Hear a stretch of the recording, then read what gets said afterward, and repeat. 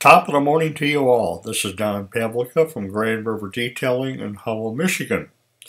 What I'm going to show you today is a larger chip repair with the same tools and the same systems that I used yesterday. There they are, and here we go.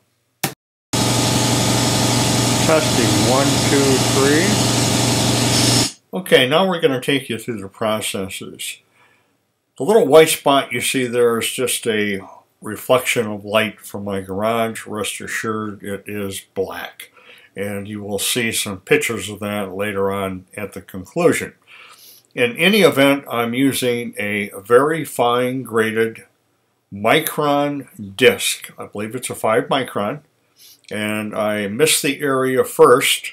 And then I have, of course, attached it to the Finesse-it hand sanding pad and you can see the disc right there and I'll go in a circular motion with this and the defect is actually removed by now but I went back because I wanted to get some of that red uh, marker out of that before I went ahead and buffed it into the paint. Alright, now you see a nice spot here that I will now be buffing. This is the area that I just sanded.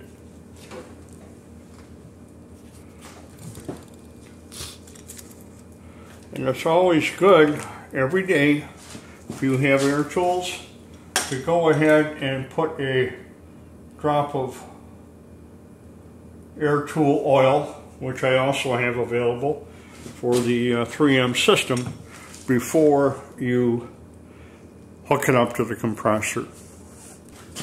Okay, I'm using the same polish I used yesterday, Blue Diamond from Detail King, which is a doggone good polish. I, I use it on all of my detail work that I, I do have when the climate is a little bit warmer here in Michigan.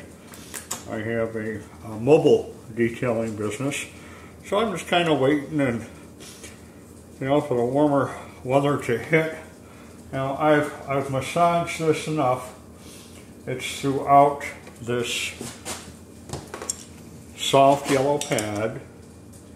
And now I'm going to come in and polish that area. I'm going to start above and end up below a couple of times. And then I'm going to go east to west as well.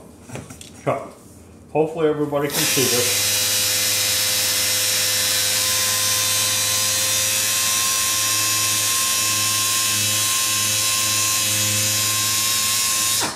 Okay, that should do it. Now I'm going to wipe this area clean.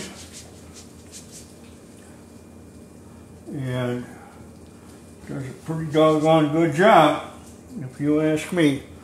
So, for those that wanted to see an actual larger defect, there you go. And here's a couple of quick snapshots that I took of the area that we removed the paint from the chip. Thank you for your time today, and you can reach me at grandriverdetailing.com or at my fine arts website, djpavlica.com. These kits will be available within the next week at my art site, djpavlica.com, and you Make it a great day.